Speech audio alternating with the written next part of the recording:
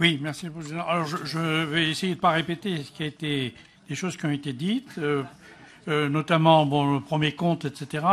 La difficulté aussi, c'est la, lecture que l'on peut en faire, puisque les décisions qui ont été prises à caractère financier par la CLET rendent pas facile les, je dirais, les, nouveaux chiffres que nous affichons euh, tant en, fonctionnement qu'en investissement, et puis euh, surtout sur la lecture de l'épargne aussi, où le, bon, on est obligé d'ajouter des tas de justificatifs pour euh, les, des commentaires pour les expliquer.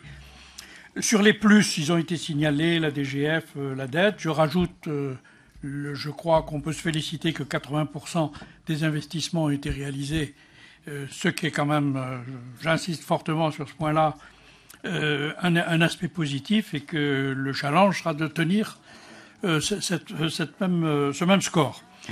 Dans les ombres, emprunts toxiques, on en parlera au prochain Conseil. La DGF de 2016, eh ben, point d'interrogation. C'est des DRA, le VP en a parlé. Et enfin, les deux, points, c'est la voirie, voirie et aménagement d'espace, parce que là, on a un trou de la, euh, dans ce qu'elle nous a renvoyé, globalement, on a quand même un trou de 14 ou 15 millions d'euros euh, sur nos politiques euh, prévues en matière de sur, ces transferts plus les aspects d'aménagement que nous souhaitons faire en dehors des projets cœur de ville, etc.